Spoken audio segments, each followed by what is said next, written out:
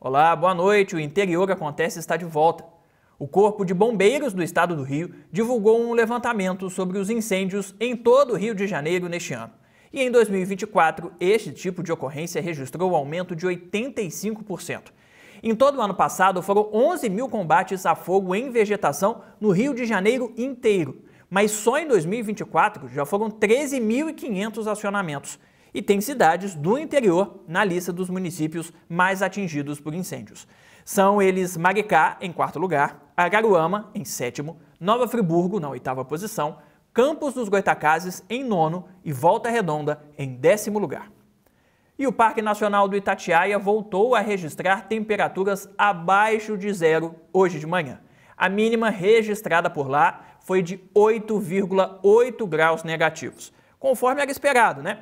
Foi registrada também uma geada que deixou a vegetação esbranquiçada e causou o congelamento de algumas áreas de água. Mais um dia de imagens lindas direto do ponto mais alto do estado do Rio. Vamos ver agora como fica o tempo amanhã. A tendência é que os termômetros tenham uma leve subida nesta quarta-feira.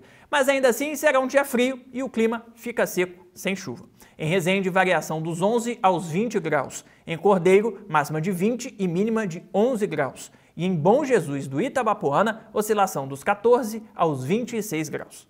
Por enquanto é só, mas eu volto daqui a pouquinho, hein, no intervalo do Melhor da Noite.